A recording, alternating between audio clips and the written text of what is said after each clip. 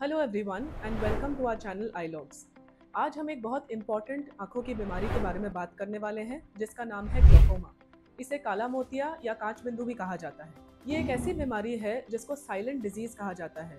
ये आँखों की रोशनी को पूरी तरह से छीन सकती है, लेकिन अगर इसका चेकअप सही समय पर किया जाए और इसे जल्दी डायग्नोज किया जाए तो इससे आँखों की रोशनी बच भी सकती है।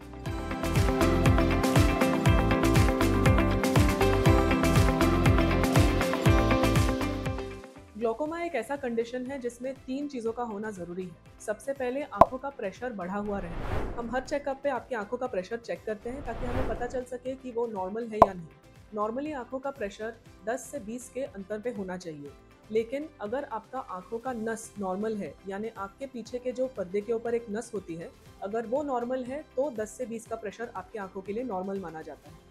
अगर आपके आँखों के पीछे के पर्दे के नस पे पतलापन ऑलरेडी आ चुका है तो 10 से 20 का प्रेशर भी आपके लिए अबनॉर्मल हो सकता है। तीसरा फैक्टर है कि आँखों का पेरिफेरल विजन कितना होना चाहिए। नॉर्मली आँखों का पेरिफेरल विजन साइड से सिकुड़ने लगता है या फिर शॉर्ट होने लगता है, जब ग्लोकोमा का डिज़ीज़ डेवलप होता है। ग्लोकोमा एक ऐसा मेडिकल कंडीशन है, जिससे आँखों का प्रेशर बढ़ जाता है। आँखों का प्रेशर बढ़ने से आँख के पीछे के पर्दे की जो नस है, उसके ऊपर प्रेशर बना रहता है। उससे वो नस पतली हो सकती है और उसमें डैमेज हो सकता है। ये डैमेज इरिवर्सिबल होता है, यानी कि नस का जो हिस्सा पतला हो गया है, वो दोबारा से हम तंदुरुस्त नहीं कर सकते।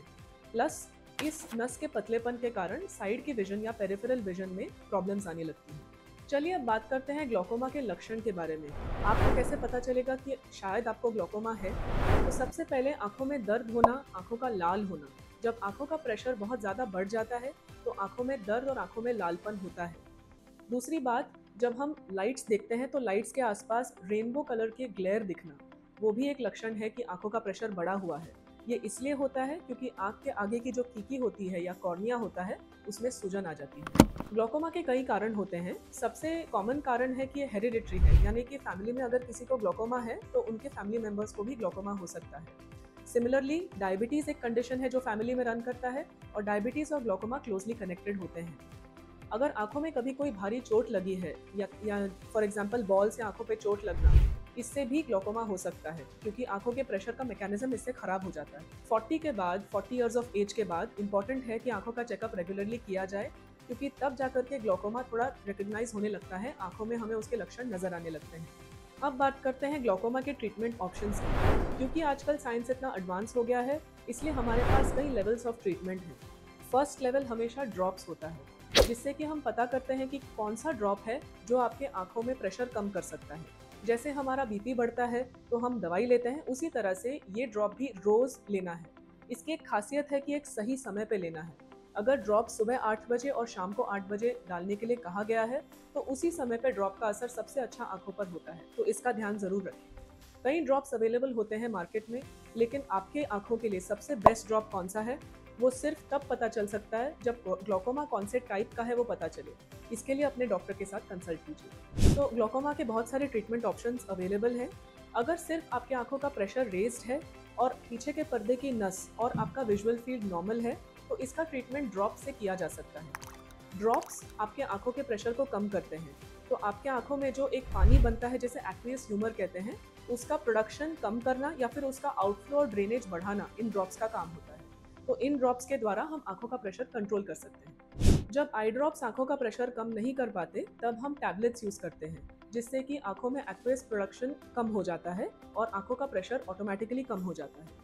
इन टैबलेट्स को ध्यान से यूज़ करना पड़ता है, क्योंकि बहुत एजड लोग होते हैं या फिर जिनको कार्डियक डिजीजेस और किडनी डिजीजेस होते हैं, उनमें हम ये ड्रॉप्स प्रेफर ये टैबलेट्स प्रेफर नहीं करते। उनमें हम एक इंजेक्शन देते हैं, जिसे मैनेटॉल कहा जाता है, जिससे आँखों का प्रेशर कम होता है but only for emergency situations laser treatment भी अवेलेबल है ग्लोकोमा को ट्रीट करने के लिए। जब हमारे आँखों का एक एंगल होता है, जो बहुत ही नैरो होता है, तब उसका आउटफ्लो बढ़ाने के लिए, जो एक्वेस प्रोडक्शन आउटफ्लो को बढ़ाने के लिए, हम लोग एक छेद कर सकते हैं आँखों के काले हिस्से पर। उससे फ्लो बढ़ जाता है और ड्रेनेज बढ़ जाता है और ड्रेनेज के लिए एक अलग पाथवे तैयार होता है only with laser which is absolutely no touch So this is a good technique to reduce your pressure if you have angle closure glaucoma. Can also be used in emergency situations. जब medicine और laser effective नहीं होते, तब हमें surgical option की तरफ़ मुड़ना पड़ता है सर्जिकल ऑप्शन में ट्रेबेकुलेक्टमी एक ऐसी सर्जरी है, जो कई सालों से सक्सेसफुली की जा रही है ग्लोकोमा को ट्रीट करने के लिए उससे ग्लोकोमा के नंबर ऑफ़ ड्रॉप्स भी कम हो जाते हैं उसमें हमारे ड्रेनेज सिस्टम जो ऑफ़ द आई जो होता है उसमें एक फ्लैप बनाते हैं। उस फ्लैप से ड्रेनेज सिस्टम बाईपास हो जाता है और उससे थोड़ा सा ड्रेनेज बढ़ जाता है। इससे आँखों का प्रेशर कंट्रोल में रहता है।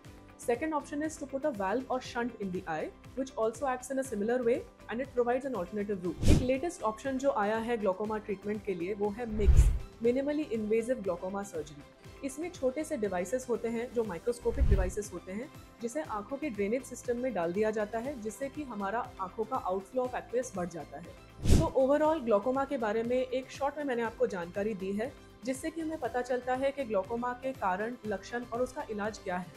ग्लोकोमा एक ऐसी डिज़ीज़ है, जिसका कोई रिवर्सिबल फैक्टर नहीं है, लेकिन उसको मेंटेन किया जा सकता है। अगर सही से उसका ध्यान रखा जाए तो आँखों में रोशनी बच सकती है। ग्लोकोमा में साइलेंटली, यानी कि बिना पता चले, ये डिज़ीज़ बढ़ता जाता है। इसीलिए रेगुलर चेकअप्स बहुत ज़्यादा ज़रूरी हैं। तो हर तीन महीने में या छः महीने में जब आपके डॉक्टर आपको सजेस्ट करें, आँखों के प्रेशर के चेकअप के लिए ज़रूर जाइए। साल में एक बार आपको आँखों का ओसीटी स्कैन यानी कि आँखों के पीछे के पर्दे के नस का लेयर बाय लेयर स्कैन आपने अपने ऑफ्थेल्मोलॉजिस्ट के पास करना चाहिए। एक और टेस्ट है, जिसे कहते हैं पेरीमेट्री या विजुअल फ़ील्ड टेस्ट उस टेस्ट को भी करना ज़रूरी है, क्योंकि वो हमारा विजुअल फ़ील्ड मैप करता है। इन टेस्ट के द्वारा हमें पता चलता है कि जो ड्रॉप्स हम यूज़ कर रहे हैं, जो टैबलेट्स हम यूज़ कर रहे हैं, उनका काम अच्छे से हो पा रहा है कि नहीं। So this brings us to the end of our episode on glaucoma please like share and subscribe and if you have any question drop them down in the comments below thank you.